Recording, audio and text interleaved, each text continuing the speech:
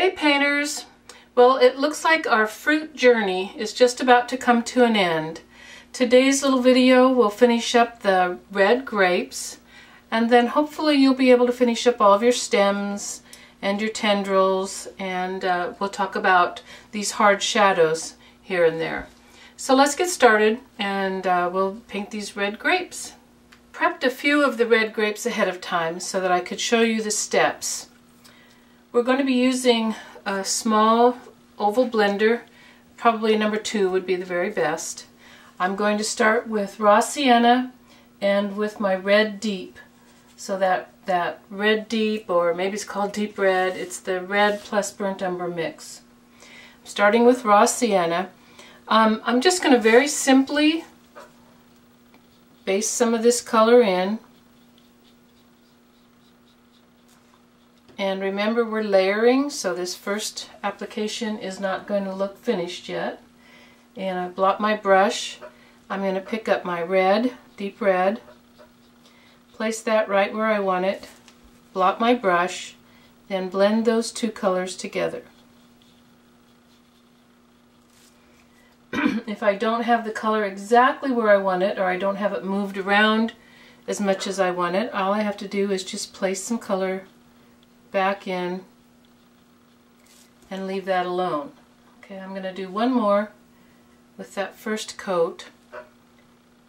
This is the, um, had a little too much on my brush, yellow, or excuse me, this is raw sienna.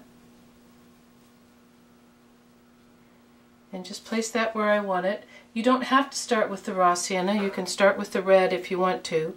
So as you go back from grape to grape, you can start with the raw sienna on one and start with the red deep on the next. It doesn't matter which color you start with as long as you put it in the place where you want it.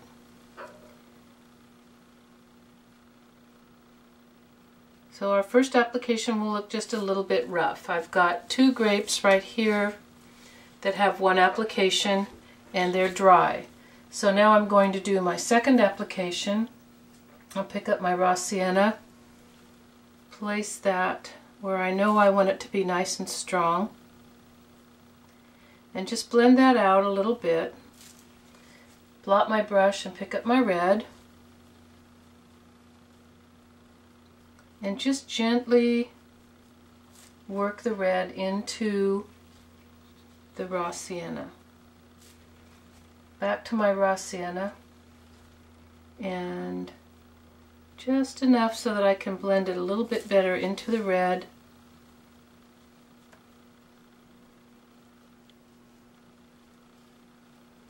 And that's two coats of color now. When that's dry, we want to start um, increasing or going up in value. So now after I've got two coats of my red and raw sienna, I'm going to pick up a small round blender, a two probably, and some yellow oxide, and I'm going to do a dry stipple. So I'm going to find the place where I want to have the most light, and I'm going to stipple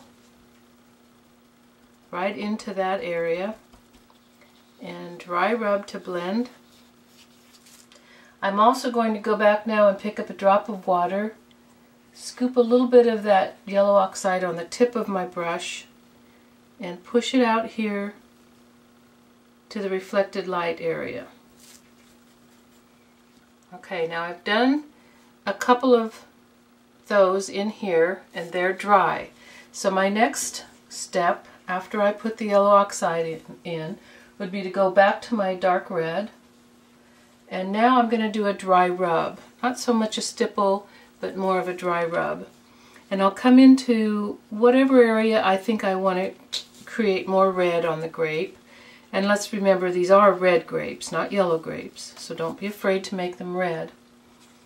And just with, um, remember that you're going to stipple that paint into the brush and blot it so that you can do a dry rub. You've got the paint in the brush, not necessarily on the tip.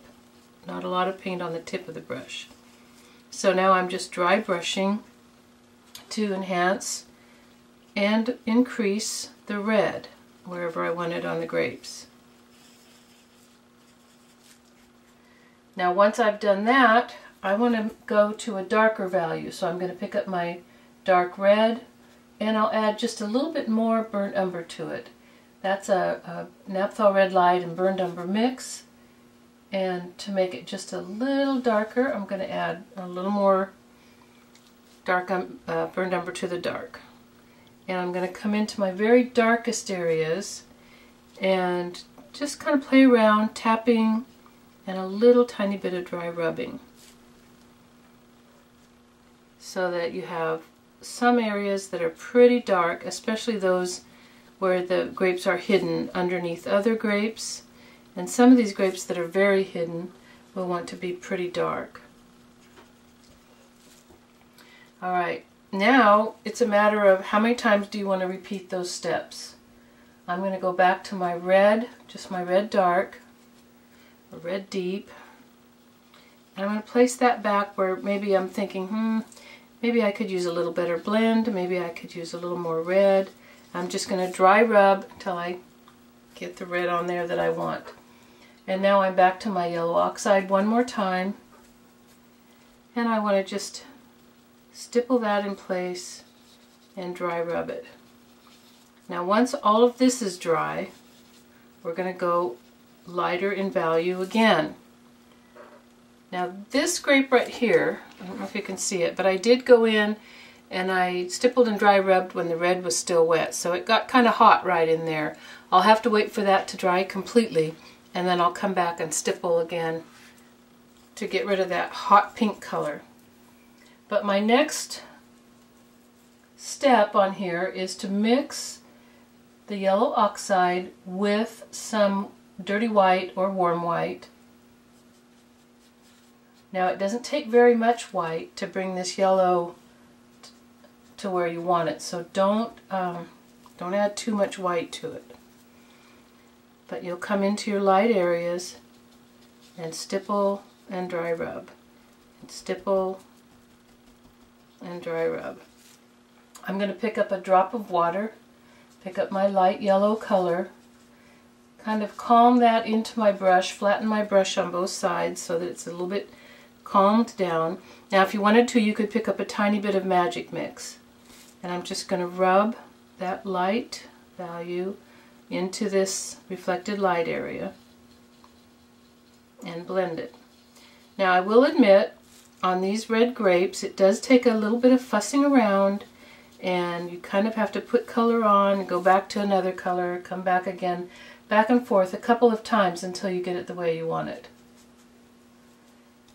but you want to uh, just keep going lighter with yellow plus white and darker with red plus burnt umber.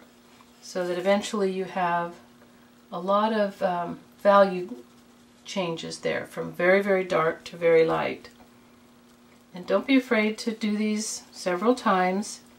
If you get to a place where it's looking a little bit too chalky and uh, not very smooth, you can always wash the grapes with red or you could wash them with raw sienna.